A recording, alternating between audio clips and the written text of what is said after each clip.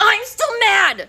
But if I stop my tantrum, can I get a piece of candy? Yeah, if you stop tantruming and maybe if you're good the rest of the time that we're here during checkout. Fine, but I'm watching you both. Hi, put your items on the counter. Mama, I have something to say to you. Shh, not right now. Can you quit ignoring me and let me tell you something? But Stop, I'm trying to pay for something. Ma'am, I think your daughter's hiding something behind her back. That is what I was trying to say to you. Little miss, were you trying to steal that?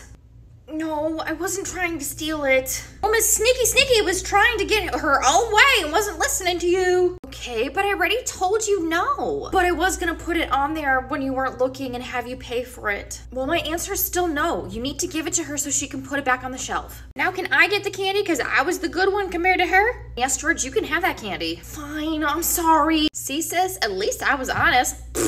George, stop rubbing it in. For once, it wasn't me. Hope y'all have a good day.